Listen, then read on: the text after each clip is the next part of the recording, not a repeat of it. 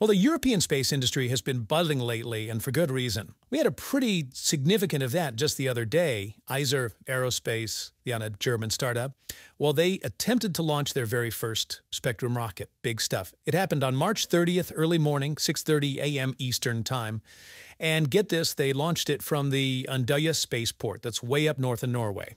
And, you know, this is a big deal because it was the first time a private company in mainland Europe, outside of Russia, obviously, tried to launch something into orbit. They were originally supposed to launch over a week ago, but the weather, you know how it is up there, it just wouldn't cooperate.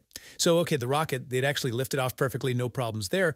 But then about 25 seconds in, things start to get oh, interesting right after they announced they were going to do this maneuver called a pitch over, which is basically where the rocket starts to tilt towards its planned paths, it seems like they lost control of the rocket, you know, attitude control as they call it.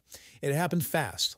Like within five seconds, the whole rocket had completely flipped over and was heading back down to Earth.